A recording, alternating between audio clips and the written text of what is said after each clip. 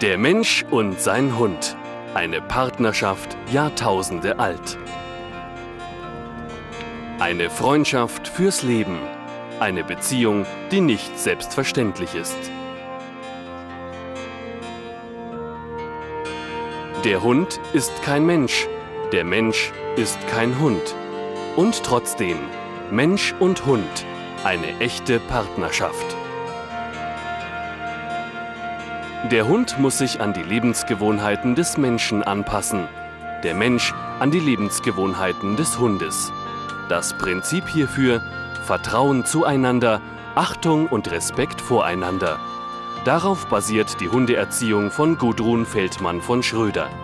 Ein Erziehungsstil, der dazu führt, dass Hund und Mensch harmonisch miteinander leben können und eine Partnerschaft entsteht, die für beide lebenswert ist. In diesem Film werden wir lernen, wie wir für unseren Hund Verantwortung übernehmen können, wie wir ihn erziehen können, ohne ihm seine Würde zu nehmen, ohne ihn zu knechten, zu ängstigen oder ihm Schmerzen zuzufügen. In den nächsten 40 Minuten erfahren wir, wie wir unseren Freund Hund zu einem echten Partner machen können.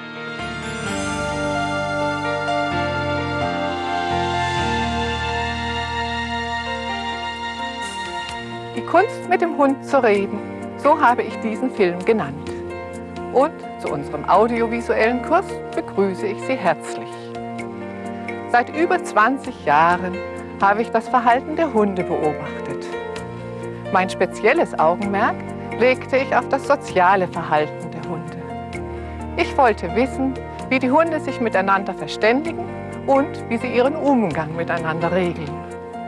Aus den Ergebnissen dieser Studien entwickelte ich eine Trainingsmethode, die sich heute großer Beliebtheit erfreut. Polly, pass auf. Das kennen wir.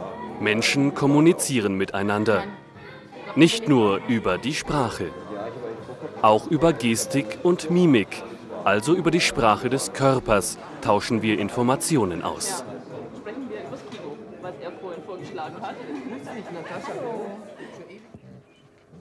Für Hunde gilt das genauso. Auch unter ihresgleichen geben sie durch die Körpersprache Signale.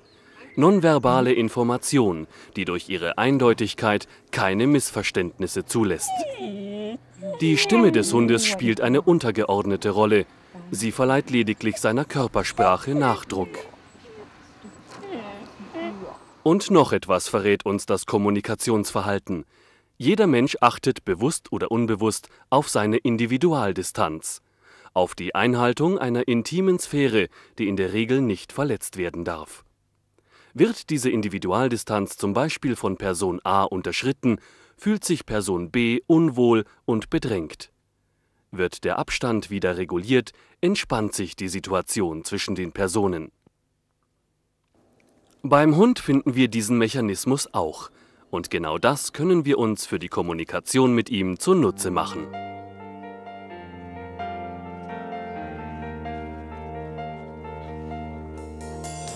Wir stellen also fest, es gibt Gemeinsamkeiten zwischen Mensch und Hund, die für unser Ziel wichtig sind. Dies betrifft die Körpersprache und die Individualdistanz, also die soziale Verständigung. Fassen wir diese Grundlagen noch einmal zusammen. Die Lebensgewohnheiten und Bedürfnisse von Hund und Mensch unterscheiden sich scheinbar grundlegend voneinander. Nie würde es zum Beispiel einem Menschen einfallen, nach Mäusen zu graben. Ein Hund tut das liebend gern. Dagegen ist selbst ein gutes Buch für einen Hund nicht lesenswert. Er würde vielleicht höchstens daran herumknabbern. Aber wir haben auch die Gemeinsamkeiten zwischen Hunden und Menschen kennengelernt. Die Individualdistanz und die Körpersprache. Sie bilden die Schnittmenge. Das ist die soziale Verständigung. Die Gemeinsamkeiten ergeben grundlegende Verhaltensmuster, die die Kommunikation zwischen Mensch und Hund erleichtern. Der Hund weiß jetzt, was wir Menschen von ihm wollen und der Mensch umgedreht weiß, was der Hund uns ausdrücken möchte. Wir brauchen kein Würgehalsband, das den Hund erwürgt, wenn er zieht und ihm damit Schmerzen bereitet. Wir brauchen auch kein Stachelhalsband mehr, das mit den Stacheln dem Hund am Hals große Schmerzen zufügt und das auch noch beschönigenderweise Erziehungshalsband genannt wird. Und wir brauchen auch nicht diesen Kälberstrick, die Moxonleine, die den Hund erwürgt, wenn er zieht und stranguliert wie einen Menschen, der durch den Strick zum Tode verurteilt wird.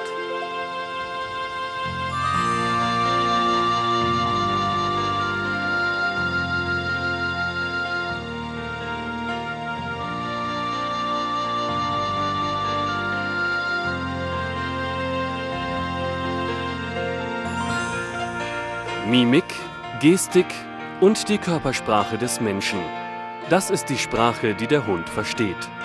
Genauso spricht der Hund und genauso antwortet er uns. Wir Menschen können diese Sprache erlernen und richtig deuten.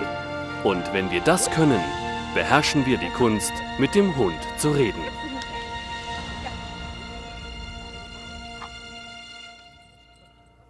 Wir Hundebesitzer sprechen aus Erfahrung. Die Kunst, mit dem Hund zu reden, sie ist nicht so einfach. Wir sind oft überfordert und wissen nicht, warum sich unser Hund so verhält, wie er es manchmal tut. Und wir reagieren darauf, ohne zu wissen, ob unser Handeln angemessen und sinnvoll ist. Manchmal ist es sogar ein richtiges Dilemma. Der Hund hat keine Motivation für das, was wir von ihm wollen, dann wieder viel zu viel Motivation für etwas, was er im Zusammenleben mit uns Menschen nicht darf. Daher suchen wir Hundebesitzer nach Erziehungswegen. Die Bedingung ist, der Hund soll in der Erziehung das Vertrauen zu seinem Freund Mensch erhalten. Und er soll spüren, dass sein Freund Mensch ihn achtet und respektiert. Die Feldmannsche Erziehungsmethode ist in drei überschaubare Lehrabschnitte gegliedert. Als Lehrling soll der Hund das Vertrauen des Menschen erhalten. Als Geselle wird er die Frage nach der Rangordnung stellen. Als Meister wird er seinem Freund Mensch zuverlässig verbunden sein. Auch der Mensch ist in seiner Berufsausbildung zunächst Lehrling. Als Zimmermann etwa lernt er die Werkstatt kennen und seinem Ausbilder zu vertrauen. Er lernt grundlegende Handgriffe und die Handhabung von Werkzeugen.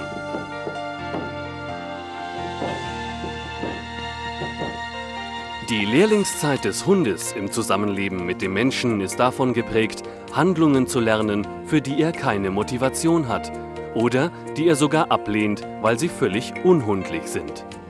Zum Beispiel soll er sitzen bleiben, wenn ein anderer Hund an ihm vorbeigeht, langsam laufen, wenn er rennen will, weitergehen, wenn er schnüffeln will. Wenn der andere Hund vorbeigegangen ist, entspannt die Hundeführerin die angespannte Situation. Unhundliche Verhaltensweisen erlernt der Hund nur dann zuverlässig, wenn wir ihn positiv dazu motivieren. Während der Lehrlingszeit entsteht so das Vertrauen zwischen Mensch und Hund. Dies ist für die weiteren Erziehungsschritte von entscheidender Bedeutung.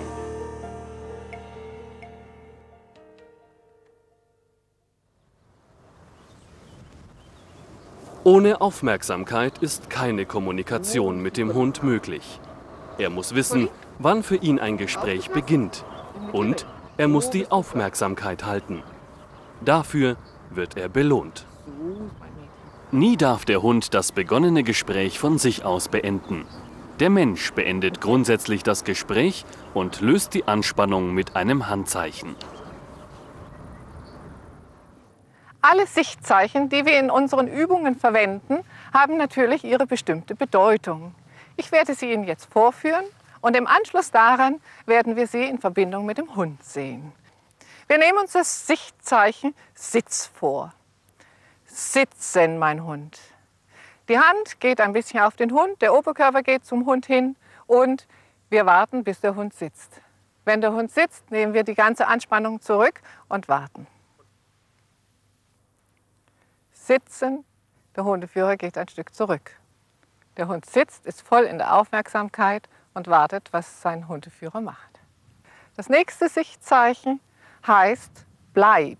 Wenn ich möchte, dass der Hund bleibt, drücke ich den Hund von mir weg. bleib, mein Hund. Der Hundeführer holt sich die Aufmerksamkeit des Hundes. Jetzt teilt er ihm mit, er soll bleiben und entfernt sich von dem Hund. Der Hund hat zu warten, bis der Hundeführer ihn entweder zu sich ruft oder wieder zum Hund hingeht. Wir wenden uns dem nächsten Sichtzeichen zu. Leg dich. Der Hund soll sich legen. Die Hand führt den Hund zum Boden. Wenn der Hund liegt, wird die Hand wieder weggenommen und der Hund hat seine Übung gemacht. Der Hund gibt die Aufmerksamkeit und bekommt sein Sichtzeichen für Hinlegen. Er befolgt es und hält die Aufmerksamkeit. Das nächste Sichtzeichen bedeutet, komm her zu mir. Wenn ich möchte, dass mein Hund zu mir kommt, muss ich mir diesen Hund zu mir herholen. Die Hände gehen von unten nach oben und der Oberkörper geht zurück. Der Hund kommt her und er wird sitzen, wenn ich stehen bleibe. Die Aufmerksamkeit des Hundes und dann das Sichtzeichen für komm her zu mir. Er kommt und hält die Aufmerksamkeit. Ein weiteres Sichtzeichen haben wir für langsam bei mir. Der Hund soll langsam neben dem Hundeführer laufen. Langsam bei mir. Die Aufmerksamkeit des Hundes wird geholt. Und jetzt kommt das Sichtzeichen. Langsam bei mir. Der Hund geht eng mit dem Hundeführer zusammen. Das nächste Sichtzeichen bedeutet, wir gehen weiter, weiter, mein Hund. Die Hand führt den Hund und der Hund soll mitgehen. Wir gehen weiter, mein Hund. Die Aufmerksamkeit, der Hund soll weitergehen. Er soll mit seinem Hundeführer zusammen in die gleiche Richtung gehen. Sie kennen jetzt das Rüstzeug, mit dem Sie sich mit dem Hund über die Körpersprache verständigen können. Und jetzt kommen wir zur Individualdistanz. Sie sollen lernen, wie Sie die Individualdistanz zum Hund einhalten und respektieren können. Die Individualdistanz ist der wichtigste Aspekt in der Erziehung unserer Hunde. Das Einhalten der Individualdistanz zum Hund ist die Grundlage für gegenseitiges Vertrauen.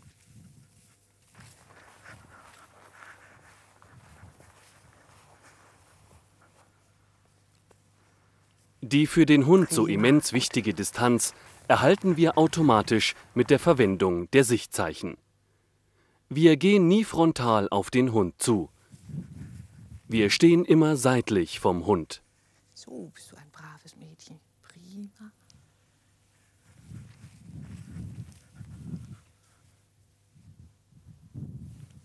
Kommt der Hund auf uns zugelaufen, gehen wir rückwärts und bleiben stehen, bis der Hund sitzt und treten dann zur Seite.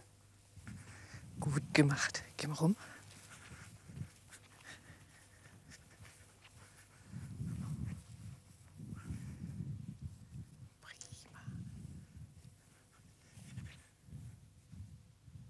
Oder wir lassen den Hund herankommen und kurz bevor er da ist, gehen wir seitlich, heben die Hand und der Hund wird halten und sitzen. So bist du ein braves Mädchen.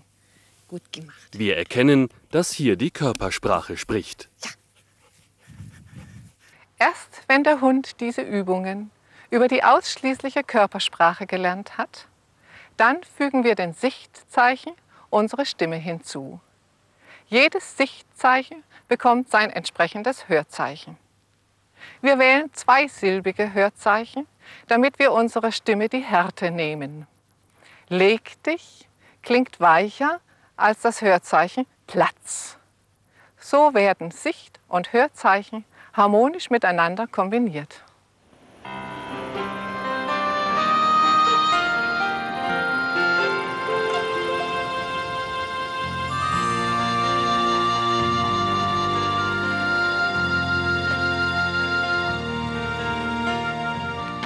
Grundsätzliches haben wir bereits gelernt. Das Einsetzen der Körpersprache, die Beachtung der Individualdistanz und die Bedeutung der Sichtzeichen, die durch mehrsilbige Hörzeichen ergänzt werden. Wir können jetzt unseren Übungen, die der Hund über die Körpersprache gelernt hat, die Stimme hinzufügen. So kann er lernen, die entsprechenden Hörzeichen zu verstehen. Wir nehmen uns das Hörzeichen Sitzen vor. Das Handzeichen wird zunächst mit der Stimme kombiniert. Sitzen, mein Hund. So ist mein Mädchen brav. Gut? Das Ziel ist, der Hund soll später auch ohne Hast Sichtzeichen auf das Hörzeichen Sitzen reagieren. Und jetzt? Jetzt darfst du laufen. Ja, mein Kleiner. So bist du brav. Soll der Hund zu uns zurückkommen, verwenden wir das Sichtzeichen zu mir und fügen wiederum das Hörzeichen hinzu. Komm her zu mir. Komm, komm. So ist recht.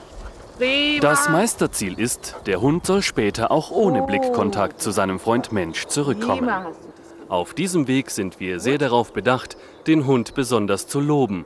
Schließlich ist ihm sein Freund Mensch wichtiger als die Ablenkung. Und was machen wir jetzt? Bei dem Sichtzeichen für Bleiben verfahren wir genauso. Bleib, mein Hund. Bleiben heißt Distanz. Der Hund bleibt und wartet so lange, bis sein Freund Mensch ihm sagt, was er anschließend tun darf.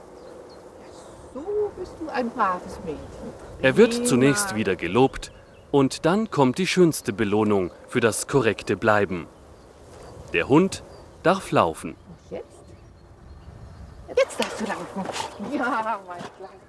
Jetzt kommen wir zur Übung Legen. Der Hund soll lernen, sich zu legen und zu warten, bis er wieder aufstehen darf. Bleib, mein Hund. Dieses Übungsziel erreichen wir mit Hilfe einer Decke, die der Hund kennt. Wir haben sie von seinem Schlafplatz zu Hause mitgenommen. Und wieder soll er sitzen und bleiben. Das hat er bereits gelernt. Wie immer holen wir uns die Aufmerksamkeit des Hundes und laufen gemeinsam zur Decke. Leg dich. So bist du brav. Prima hast du das Der gemacht. Hund liegt und er wird dafür belohnt. Das Bleiben hat er bereits gelernt. Wir erinnern uns, Bleiben heißt Distanz.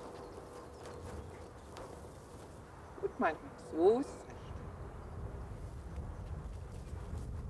So ist recht. Eine weitere Belohnung kündigt das Ende der Übung an.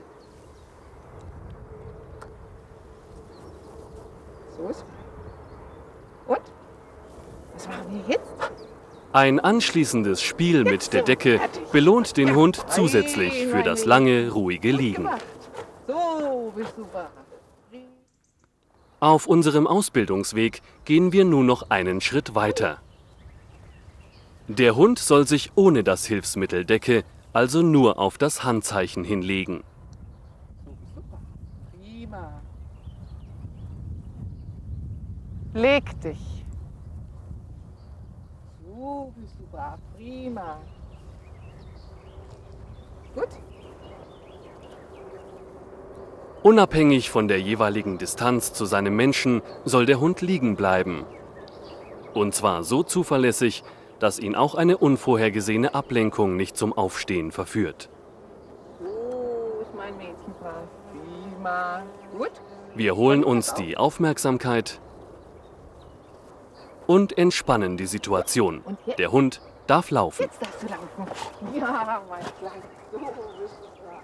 Noch näher an den Meistertitel führt uns der nächste Schritt. Das Sichtzeichen legen wird dem Hund nun aus der Entfernung gegeben.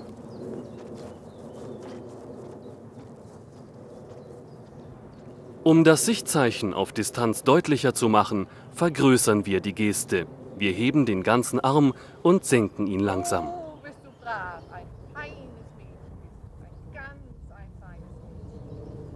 Und wieder wartet der Hund und freut sich schon auf die Entspannung. Er wird mit einem Leckerchen belohnt und darf anschließend mit seinem Freund Mensch herumtollen. So ist Gut. Und was machen wir jetzt? Diese vier Erziehungsziele Sitzen, zu mir, Bleiben und Legen sind das Rüstzeug, das der Hund als Lehrling beherrschen muss. Erst wenn er diese Übungen sicher ausführen kann, ist es für ihn möglich, auch weitergehende Aufgaben zu meistern.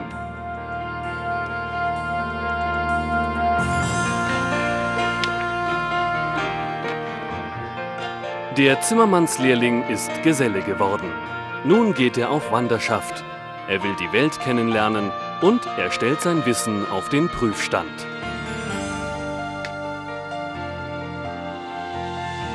In den verschiedenen Werkstätten erkennt er die Rangordnung an und er ordnet sich ein. Auf unserem Ausbildungsweg folgt nun der Hund als Geselle. Das ist die Zeit, in der der Hund die Frage nach der Rangordnung stellt. Geh weiter. Weiter. Gehst du weiter? Geh jetzt weiter. Wir erinnern uns, das Vertrauen ist die Grundlage für den gegenseitigen Umgang. Erst wenn das Vertrauen gewachsen ist und sich gefestigt hat, dann können wir zur Klärung der Rangordnung übergehen. Wir gehen weiter. In dieser Situation fragt der Hund, ob er all das, was er bisher gelernt hat, immer ausführen muss oder nur dann, wenn es ihm in den Kram passt. Wir Menschen antworten ihm natürlich, mein lieber Freund Hund, wenn du im Gespräch mit dem Menschen bist, dann gibt es nichts Wichtigeres als das Gespräch. Es liegt also an uns Menschen, die Überlegenen zu bleiben. Dazu müssen wir nur die Spielregeln beachten, die unter Hunden üblich sind. Das heißt, wir Menschen sollten die Dauer des positiven Körperkontakts mit dem Hund bestimmen und nie so lange warten, bis der Hund uns signalisiert, jetzt ist's genug mit dem Streicheln. Ja, wo ist es? Ja, wo ist es? Ja, so bist du.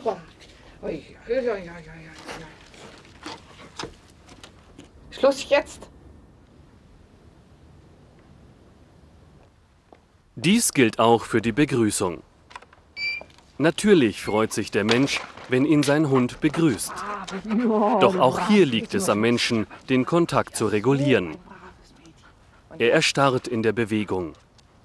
Der Überlegene signalisiert so mit seinem Körper, die Begrüßung ist zu Ende. Mit.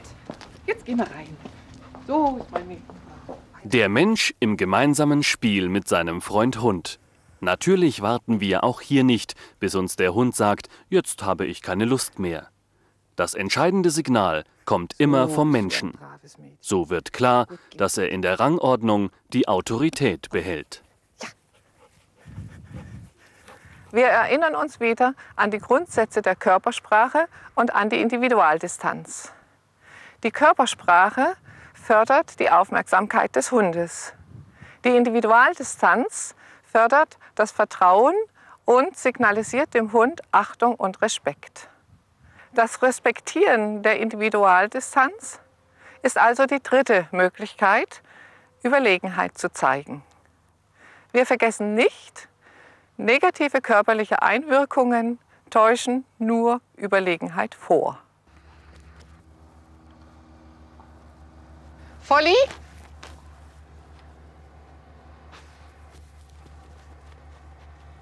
Unterschreiten wir die Individualdistanz mit einer schnellen Bewegung, so wirkt diese Situation zunächst bedrohlich auf den Hund.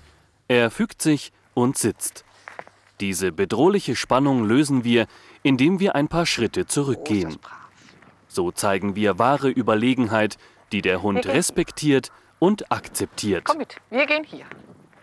Gelingt es nicht, die Individualdistanz allein über die Körpersprache zu regeln, so fügen wir die Stimme hinzu. Sitz! Benutzt jedoch der Mensch seine deutliche Stimme unüberlegt oft, gehen hier. wird das zu Missverständnissen führen. Ein immer kommandierender Chef wird von seinen Angestellten vielleicht gefürchtet, aber letztendlich nicht für voll genommen. Wer immer brüllt, zeigt Unsicherheit. Auch dem Erziehungsziel der Leinenführigkeit liegt letztendlich immer die Frage nach der Rangordnung zugrunde, die der Hund in seiner Gesellenzeit stellt. Dabei muss klar sein, unser Hund zieht seinen Freund Mensch nie zu seinem Ziel. Und der Freund Mensch zieht seinen Hund nie an der Leine zurück oder nach vorne. Wir möchten erreichen, dass sich der Hund von sich aus den Bewegungen des Menschen angleicht.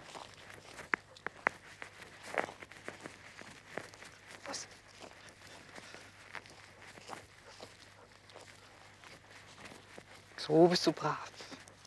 So bist du brav. Zunächst dient uns die Leine als Hilfsmittel. Wenn der Hund unaufmerksam wird, bleibt der Mensch stehen und weckt somit wieder das Interesse des Hundes. So ist ein braves Mädchen. Und jetzt? Wir gehen hier. Wir gehen hier.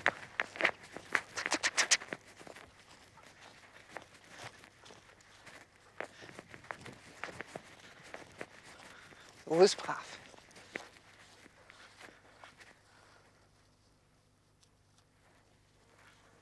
Gut, prima hast du das gemacht. Ganz fein. Ganz liebes Mädchen. In kurzer Zeit wird der Hund gelernt haben, von sich aus zu folgen.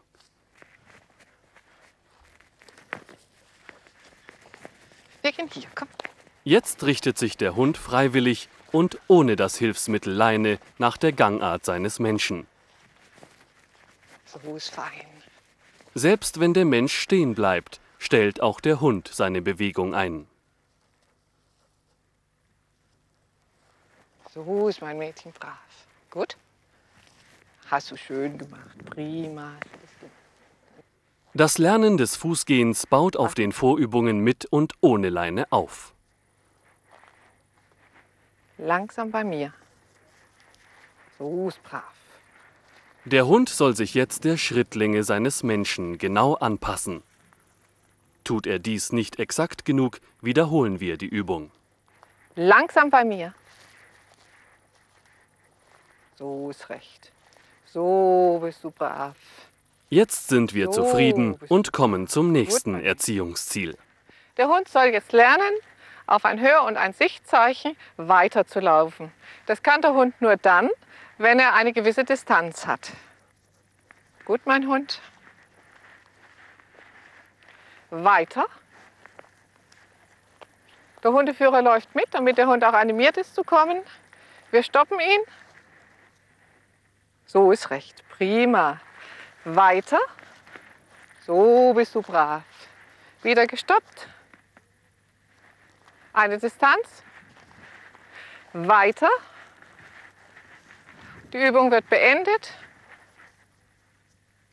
Der Hund sitzt und wird gelobt.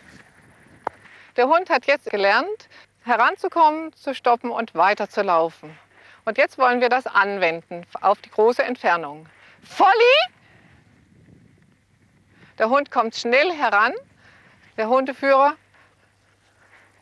versucht den Hund zu stoppen.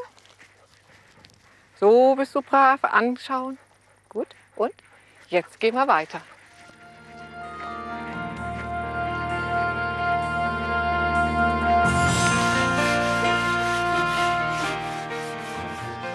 Unser Zimmermannsgeselle ist Meister geworden. Er kann nun mit allen Handwerkszeugen gut umgehen, ist kompetent und erfahren. Für seine Kunden ist er ein zuverlässiger Partner geworden.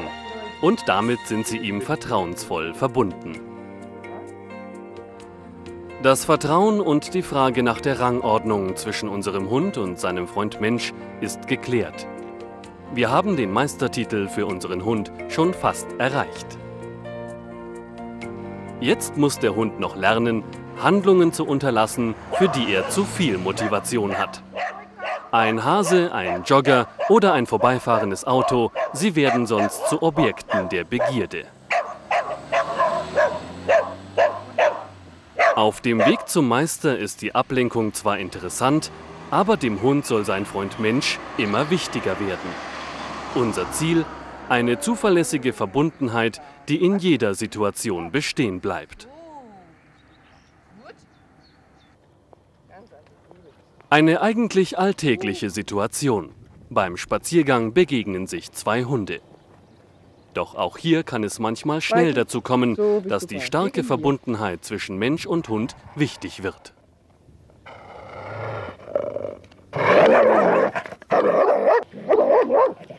Auch wenn ein unerzogener Artgenosse unseren Hund massiv provoziert, ist dieser zwar beeindruckt, er würde auch gerne Kontra geben, doch er verhält sich wie ein Meister. Er entschließt sich dazu, mit seinem Freund Mensch eng verbunden zu bleiben.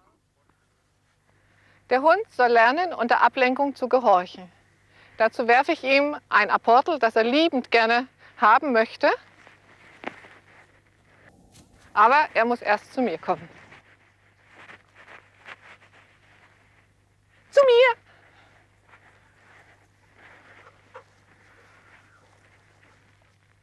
Apportel!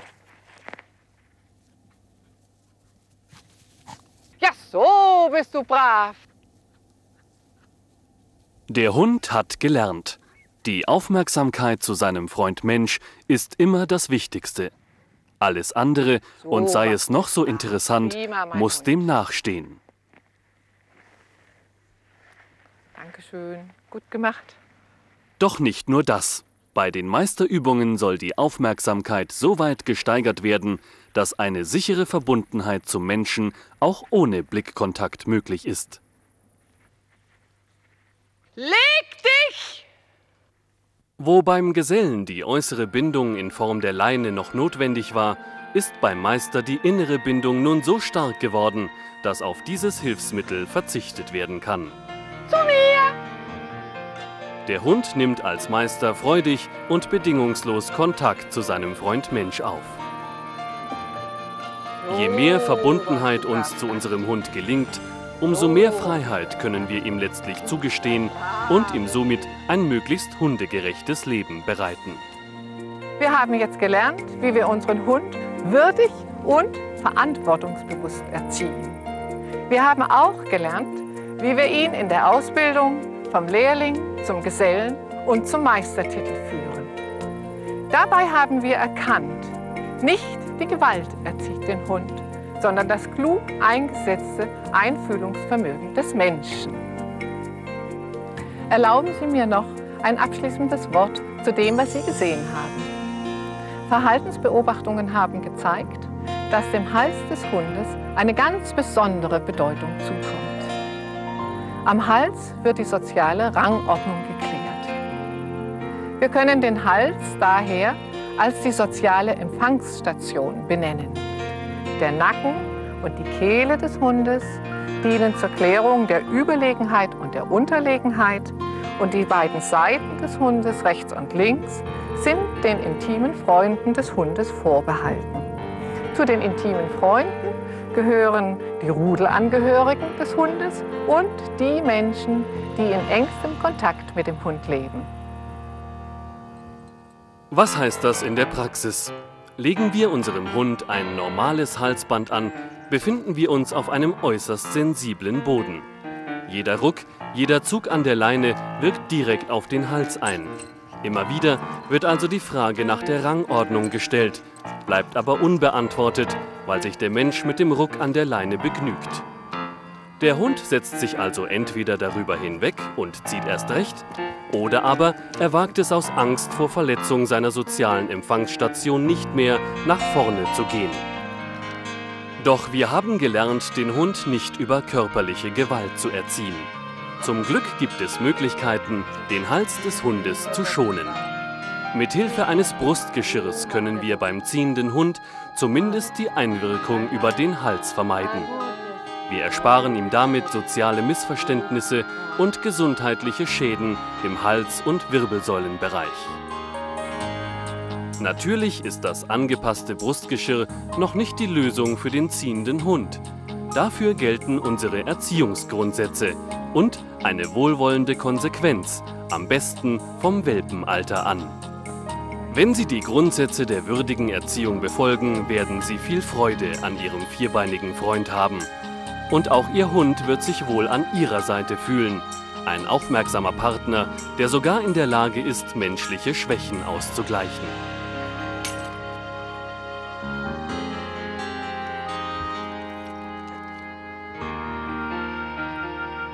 Ihr Hund wird Ihr ständiger Begleiter sein können, den Sie überall hin mitnehmen können, ob in die Stadt, in den Urlaub oder ins Hotel.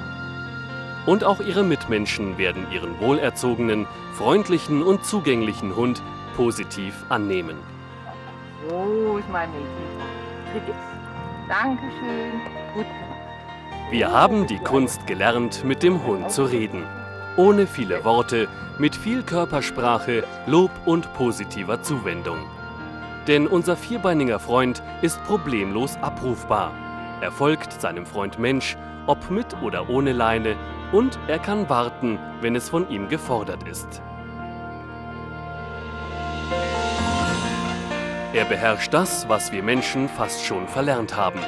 Die Kunst, aufmerksam zuzuhören. Unser Hund kann nun im Zusammenleben mit dem Menschen ein echter Partner sein und trotzdem Hund bleiben. Einer Freundschaft fürs Leben steht damit nichts mehr im Wege.